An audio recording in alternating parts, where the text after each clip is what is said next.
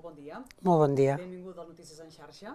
Gràcies per la feina que feu cada dia. És la feina, de, és la nostra feina i en tant que mitjan, mitjà públic, òbviament, hem de, hem de complir amb aquesta responsabilitat. Ara ho dèiem, que tenim aquesta mena d'incògnita de no saber quan seran les eleccions. Vostè és partidària de que s'ajornin o ja li estaria bé? Sí, no, nosaltres, eh, tot i que eh, trobem molt urgent que es puguin fer, perquè hi ha una situació de desgovern que cal eh, resoldre no? I, i, i cal per la, per la vida de la gent, per millorar el, el país, però pensem que amb les dades epidemiològiques eh, que tenim, que el primer de tot que cal és preservar el dret a la salut i el dret a la vida i el dret a, a votar. No?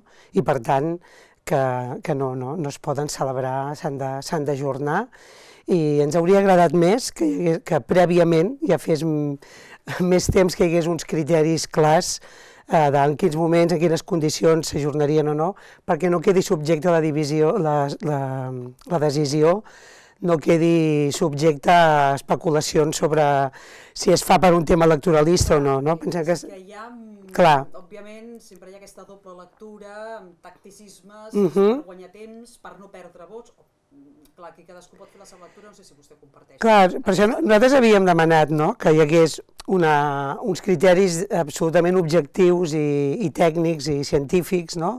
per poder dir en, en, en quines dades, no?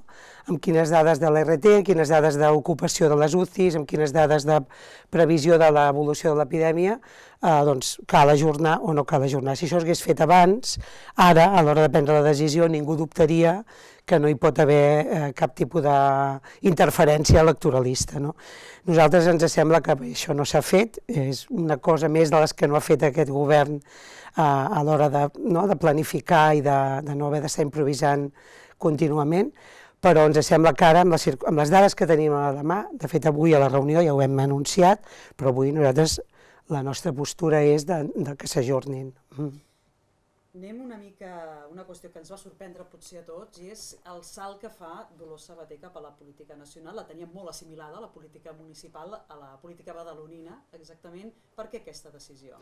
Sí, bé, de fet, la política municipal i la política del país, no?, del Parlament, eh, no haurien d'estar tan deslligades, no? però en realitat ho estan i aquest també és un, de, un dels estímuls i un dels motius pels quals guanyem, neix i guanyem Catalunya i, i amb aquesta voluntat de, de que en un nou cicle polític eh, el que passa als municipis, que és on aterra la vida, on, on, on la gent viu no? i on aterren totes les polítiques que es fan, la veu dels municipis, els, els problemes que venen des de baix, no? i l'opinió i els criteris, es tinguin molt més en compte a l'hora de, de planificar i de fer polítiques per, per tot el país. No? La voluntat, aquest pas, no? és de portar més força a l'experiència municipalista de transformació de, de, dels guanyems eh, eh, que fan una política no, des del rupturisme, a sumar-la a l'experiència que ja té doncs, la CUP també a molts municipis i al Parlament, i amb, i amb aquesta intenció també de fer de treballar per un front el més ampli possible, perquè cada vegada més la política resolgui, millori la vida de la gent i ajudi a avançar també en el procés de, d'autodeterminació del país. Aquesta és la voluntat. Ara, ara en parlem, en aquest punt de la conversa incorporem ja els nostres companys, a l'Albert Brosa, de, director de la Televisió, incorporem també a l'Abel Font, director de Ràdio L'Escala, i a la nostra companya de Vallès Visió, l'Alba Castella. Molt bon dia a tots, de nou. Bon dia. I, eh, Abel, Albel, és el teu torn, quan vulguis. Sí, a mi m'agradaria incidir sobre el, que estaven comentant en aquests instants, eh, senyora Sabater, eh, el salt de la política municipal a la política nacional. L'experiència adquirida en un ajuntament com el de Badalona, què pot aportar a la política nacional? Quin perfil o què suma del perfil municipalista a l'hora de fer política nacional? Bé, doncs crec que justament eh, ara amb l'actualitat, no? puc posar alguns exemples molt clars, estem amb la crisi de, de la llum, no? amb la crisi dels talls de llum, de totes aquestes eh, polítiques energètiques que, que estan perjudicant a tantes i tantes famílies en molts pobles i ciutats, en molts barris, doncs eh, és evident que des de la Generalitat eh, s'han de prendre mm, decisions valentes amb la, per, per tallar aquest, aquest poder dels oligopolis no? de, de les energètiques, s'ha de legislar, s'han de, fer, de fer mesures per evitar el que està passant actualment, no? que on ho patim és els municipis, estem patint no? uh, aquests talls de llum, uh, sigui amb els problemes que està tenint no? a, a la Vall Fosca, que avui mateix doncs, hi ha una acció en aquest sentit de denúncia, com està passant a Girona, al barri de la Font de la Pólvora, està passant a, a Figueres, està passant a molts municipis, ara amb les nevades, està passant a, a Badalona, a, a Sant Roc, a la Pau, al barri del centre. És un problema concret, diari, que patim les, les famílies i els municipis i que si no hi ha eh, una empara d'una política superior a la municipal, que ajudi a resoldre això, i quan dic amb les energètiques, puc dir amb l'habitatge, no? amb la regulació del preu del lloguer, amb com fer que es pugui complir el dret a l'habitatge de tantes i tantes famílies que en queden excloses. És a dir, hi ha moltíssims exemples de com la política afecta la vida diària de la gent i afecta els municipis, i després hi ha pràctiques que hem pogut posar, hem pogut posar en marxa als ajuntaments que demostren com, malgrat eh, les moltíssimes limitacions que ens posa la llei, no? perquè la, ja parlem de les lleis estatals, parlem de, del mal finançament que tenim als municipis, tenim moltes, moltes dificultats, però tot i amb això eh, donem respostes diferents que no s'havien fet abans, que són no, per millorar no, doncs la fiscalitat, per exemple, no, la fiscalitat progressiva, que vol dir que els que tenen més paguin més, no, la tarificació de, que fa que tothom paga en funció de, dels seus ingressos, de les seves rendes. Eh, tenim molts exemples també de com es governa escoltant eh, la gent, no? amb la participació de les entitats, de les, dels veïns i veïnes. Jo crec que la manera de fer des de baix, des del municipalisme transformador, eh, té molt a aportar al, al Parlament, tant eh, per l'experiència com per posar més en l'agenda política del Parlament el que són els problemes del dia a dia dels municipis i de, i de les persones que hi viuen. Clar, però hi ha una qüestió clau que és um, a l'hora de fer una o una altra gestió depèn molt de qui hi hagi amb un govern, i vostè sap perfectament, senyora Sabater, que després d'unes eleccions, en funció de quina correlació de forces queda, uh -huh i els jocs aritmètics eh, que s'hi juguen després dels resultats, doncs entra el moment dels pactes. No és així, Albert, que és una de les grans incògnites que hi ha què passarà després de les eleccions en funció dels resultats, si hi haurà pactes o no. Eh, el més probable és que sí, que sí, no, Albert? Sí, exacte. En aquesta línia jo crec que hem de fer una especial incidència no? davant eh, una possibilitat eh, remota de que hi hagi una majoria absoluta, per tant s'haurà de pactar. A mi m'agradaria preguntar-li si vostès serien més partidaris d'una força independentista, de totes les forces, eh, diguem, Junts per Catalunya, PDeCAT, Esquerra, Comuns i CUP, o potser es decantarien cap a una unió de les forces tradicionalment d'esquerres, és a dir, amb el PSC, amb Esquerra, Comuns i, i la CUP. Si hagués d'escollir entre una cosa o l'altra, vostè en quina esquerra? Val, nosaltres ja ho hem dit i ho torno, i ho torno a explicar, que el que nosaltres portem dues, eh, dues, dos objectius de programa, un programa amb, amb propostes molt concretes per millorar la vida de la gent eh, i, un, i un programa per desencallar el procés eh, d'autodeterminació per fer efectiva aquesta República Catalana que va quedar, no? aquest procés que va quedar encallat a partir del 2017. Eh, nosaltres el que buscarem, primer de tot, eh, busquem poder tenir la màxima representació per poder ser decisius en, en, el, en el rumb dels propers anys eh, del país eh, i en segon lloc amb qui podrem fer aliances és eh, amb qui ens posem d'acord amb, el, amb el programa i per descomptat doncs, coses prioritàries, no? com que hi hagi una, una renda bàsica universal, que és una cosa que ja hauríem de tenir ara amb aquesta gestió tan greu que tenim de la crisi de la Covid-19, la crisi social i econòmica que s'ha derivat de la necessitat del confinament, requereix una, una situació econòmica d'emergència, aquesta renda bàsica... Sí. Sí, però jo dic que ens posarem d'acord pel programa les que estiguin d'acord amb el que nosaltres plantegem. És a dir, si nosaltres eh, estarem d'acord en fer una banca pública, estaran d'acord en que eh, caminem per nacionalitzar eh, els eixos estratègics, no? com l'energia i que, i que passi a ser pública també. Estem d'acord en fer una renda bàsica universal, eh, doncs ens posem d'acord. Estem d'acord en que s'ha de desencallar el procés d'autodeterminació i que hem de fer eh, un nou referèndum que ha de ser sí o sí efectiu, s'ha de poder implementar.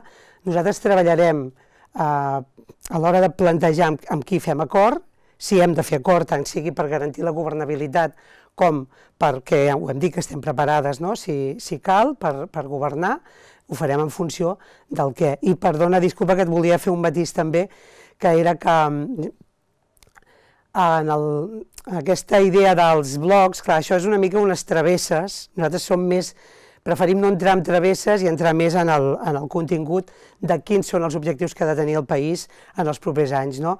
Però perquè aquestes travesses també porten a molts equívocs, perquè quan es diu que el PSC no, està en el bloc progressista, bé, eh, veiem, hem vist com s'han aprovat els pressupostos, hem vist quines, quines polítiques no s'han fet des del govern de l'Estat, no? ni s'ha derogat la llei Mordassa, ni la, ni, ni la reforma laboral, ni s'ha resolt el tema de les pensions, per no dir aquesta connivència aquesta protecció a la monarquia. Per tant, el, el PSOE està demostrant que és un, un partit que apuntala al règim cada vegada més. Uh, bé, està molt discutible, en tot cas ha de decidir si realment vol ser un partit progressista que en aquests moments no ho està demostrant. No? Està obrint molts melons, eh, senyora Sabater, i moltes qüestions que anirem desgranant al llarg de, dels minuts que es queden, que encara són uns quants, per poder parlar, però eh, també està bé mirar una mica enrere d'on venim, perquè la uh -huh. legislatura realment ha estat molt estranya, eh, amb un procés encara mm, molt calent, procés independentista estic parlant, que va marcar molt, sobretot la primera part de la legislatura, una pandèmia que també està marcant aquesta segona meitat de la legislatura, i que, òbviament, això ha generat diferències i divergències entre els partits que estan governant ara mateix. Alba, quan vulguis. Sí, molt bon dia. Uh, preguntar una miqueta també amb aquesta línia això, que aquesta legislatura doncs, hi ha hagut moltes picabaralles entre els socis del govern. No sé si creu que, que aquesta situació es pot uh, afavorir en certa manera doncs, per recollir aquests vots de ciutadans que estan desencantats amb la gestió que s'ha fet des del govern. Home, és cert, la veritat és que hi ha un molt d'esgotament, de, molt de cansament, perquè és cert que aquesta és una legislatura que va néixer de la repressió, recordem que, que són, no, hi ha una... Eh, es fa fora no, el govern legítim de la Generalitat, hi ha una criminalització del dret a decidir, de l'independentisme, de la, del dret d'autodeterminació, una persecució brutal amb molta repressió, eh, hi ha una, un acabament de la legislatura forçat i s'imposen unes eleccions. No? Per tant, és cert que és producte del 155 aquesta legislatura, però també és cert que des del primer moment, ja des del moment en què no hi ha la investidura de, del president que, no? del president que guanya les eleccions o que, que pot ser investit com a tal, el, el president Puigdemont, comença aquesta picabaralla contínua no? entre els dos partits que formen govern, entre Junts per Catalunya i Esquerra Republicana, i és una cosa que ha anat eh, degradant la política i que ha fet que a dia d'avui no han passat tres anys i quan passem comptes diem és que no hem avançat ni un mil·límetre en el dret d'autodeterminació, en la implementació no, d'aquest camí cap a, cap a aquesta plena decisió del poble català per, per decidir el seu futur i no, no, no hem avançat tampoc en, en reduir la repressió, al contrari, que la Generalitat s'ha sumat a la repressió, perquè resulta que hi ha més de 70 causes a les que la Generalitat és part de, que acusa no, en, aquesta, en, en moltes causes que són per protestes contra la repressió a l'independentisme per, i per, per, per exercir el dret a, a la protesta i a la dissidència també en causes com, com els, els desnonaments, eh? però vull dir que ja aquí no hem avançat. I a més a més no hem avançat tampoc amb, amb tenir una política clarament a favor de millorar la vida de la gent, que puguis dir, ostres, és que com a país estem avançant, mira, ja tenim això, ja tenim...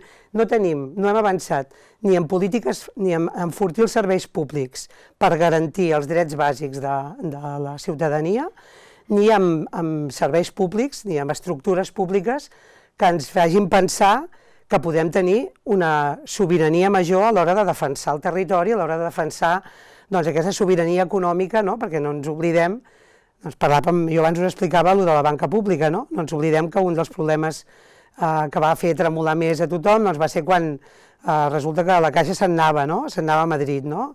Llavors, eh, què passa? Que hem d'estar subjectes sempre a que els poders econòmics, l'IBEX 35, és el que ens marcarà si tenim capacitat o no en tenim de sostenir econòmicament un país. No, hem de treballar per tenir estructures pròpies, serveis públics que facin possible que la, gent, la vida de la gent sigui molt millor i que la, la capacitat de defensar el territori, de defensar les infraestructures, de defensar l'economia, la sobirania alimentària, la producció, no? aquesta necessitat de reactivar el, la capacitat productiva de, del país. De tot això no s'ha avançat res, al contrari, amb una pandèmia tan greu com la que hem tingut, doncs la veritat no podem sentir orgull, no, no, no, ja no sé, mirem mm, Nova Zelanda, no? que, ens, que tots ens emmirallem amb alguns països com ho han fet, que dius, molt bé, no? han, han, han tingut una manera de gestionar aquesta, aquesta pandèmia que fa sentir orgull de que s'ha fet el millor possible. I dissortadament no podem dir el mateix.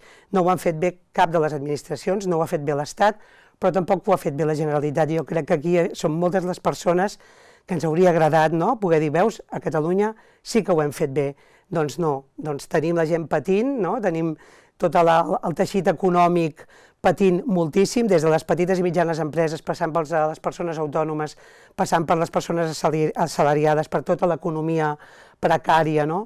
amb, amb, amb més de amb un augment de l'atur brutal, no? i, i no, hi ha, no està havent-hi una valentia política de resoldre res. Per tant, hi ha molt d'esgotament, eh, veure els partits fent picabaralles, desgastant-se, culpant-se contínuament, fa, desafecciona molt a la gent, no? la gent, hi ha molta gent que diu jo ja no crec a ningú, jo...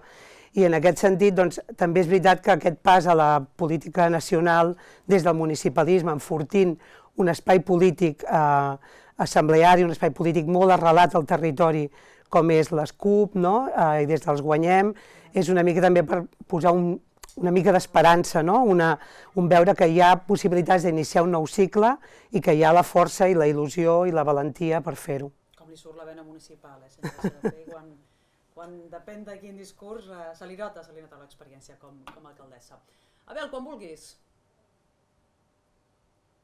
Uh, sí, a mi m'agradaria reprendre el fil del programa que comentàvem uh, fa una estona i amb, amb mesures tan destacades com ha citat uh, la candidata uh, Sabater eh, idees com el, el, la sanitat necessàriament 100% pública, com la renda bàsica garantida, com, com la nacionalització de l'energia. Eh, són mesures que entenc que es posaran damunt la taula si es dona l'opció a negociar la formació d'un govern.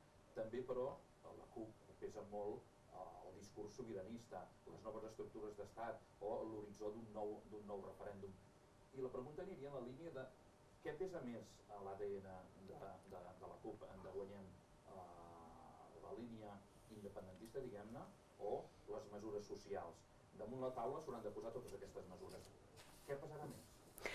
Jo crec que la, la innovació que aportem nosaltres en, aquest, en aquesta proposta d'aquest nou cicle per guanyar és justament que les igualem, no? posem les dues, eh, els dos objectius uh, per igual, perquè són indestriables, van, van lligats, no? O sigui, va, una cosa va lligada amb l'altra, i pensem que justament eh, una bona part de, del fracàs que hem tingut fins ara, d'aquesta encallada en la que estem aturades no? Tot, eh, eh, aquests anys, té a veure justament amb voler-ho separar. No? I, i fixem-nos també que la ciutadania, no? que és la que ha fet aquest motor des del carrer la que ha impulsat, ha posat a l'agenda política eh, el tema del, del dret a decidir, de la, necessitat d'un referèndum per avançar cap a la independència. Això, diguem, ha entrat a l'agenda política perquè ha sigut des del carrer, des de les entitats i des de la mobilització ciutadana que s'ha portat a l'agenda política.